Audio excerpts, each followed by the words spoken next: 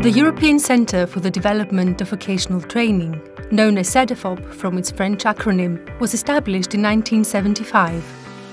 It is the oldest of the 40 decentralized European Union agencies. CEDEFOP's first home was in West Berlin, West Germany.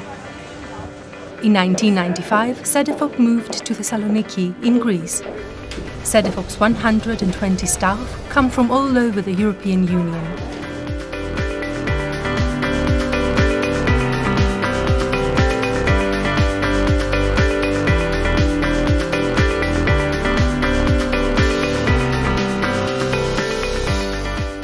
CEDEFOP examines the relationship between skills, qualifications and the labour market.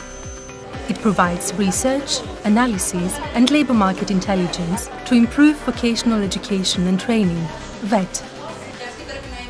CEDEFOP is involved in many initiatives to improve VET, including the New Skills Agenda for Europe.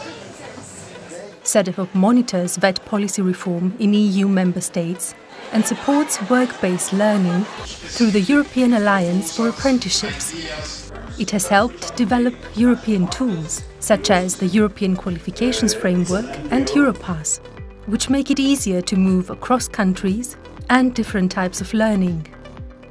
CEDEFOP skill supply and demand forecasts provide insights into Europe's changing labour market.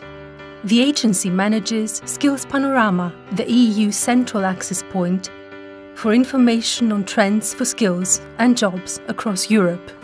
CEDEFOP is also a forum for sharing ideas and debating the best ways to improve VET. CEDEFOP will continue to promote learning for work to improve European citizens' job and career prospects.